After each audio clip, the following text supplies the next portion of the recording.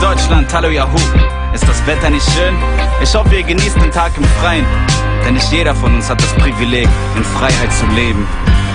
Es war einmal ein junger Soldat aus den USA, hatte ein helles Köpfchen schon in den jungen Jahren. 2009 im Irak stationiert, wo die Weltpolizei USA patrouilliert. Ein Krieg gegen Terror, so sagte man es ihm. Doch was er sah, war so anders als es schien, so anders als alles, was man in Medien zeigt. Denn anstatt dass man Iraker vom Terror befreit, waren es US-Soldaten, die auf Zivilisten schießen. Aus Helikoptern, es waren noch Kinder, die dort liefen. Er sah unschuldige Menschen ums Leben rennen. Der junge Soldat hieß Bradley Manning.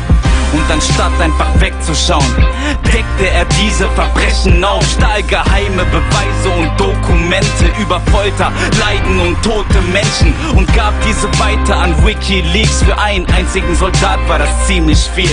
Es war ein großer Akt der Zivilcourage, vielleicht war es einer der größten dieser Tage. Und dafür große Ehre verdient. Amerika ist schließlich eine Demokratie. Er wurde mit Paraden empfangen. Für seine Verbrechensbekämpfung hat ihm der Staat Staat sehr gedankt dafür, dass er so viel Liebe der Welt zeigt. Schenkte ihm Obama seinen Friedensnobelpreis. Denn das ist wie der Westen denkt. Obama nahm ihn in den Arm und sagte, yes we can. Leider ist das alles Fantasie.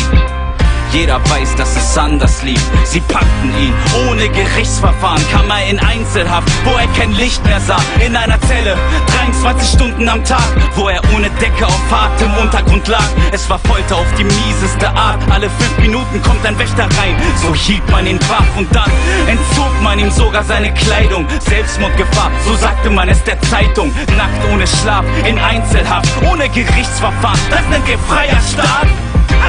Nur damit ihr's alle rafft Diesen Jungen drohen 130 Jahre Haft Dafür, dass er sie aufdeckt Die dreisten Verbrechen, was? Yes, we can Wir schreien Freiheit für Manning Ach ja, und was mit den Killersoldaten und deren Vorgesetzten passiert ist, die so viel Zivilisten und Kinder auf dem Gewissen haben?